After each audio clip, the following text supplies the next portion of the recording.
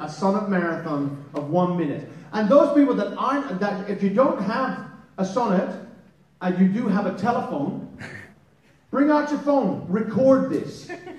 Seriously, put your phone, put it on yourself, and record yourself speaking because you will be saying it's cacophony all around you, but you will actually get a recording of yourself speaking the sonnet. Everybody's got a sonnet? I'm going to count us in from 10, and then once I hit 1, we start. You ready? 10, 9, 8, 7, 6, 5, 4, 3,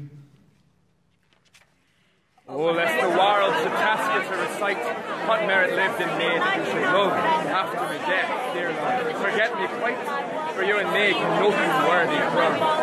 Unless you would devise some virtuous lie do more for mine than was mine own hang more praise upon the sacred eye than niggard truth would willingly impart.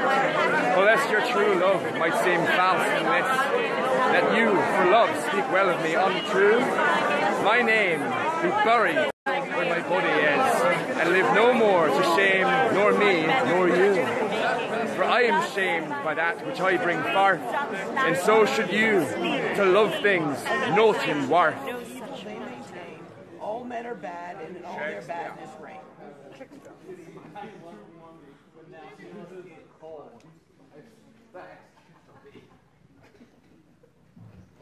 We did it.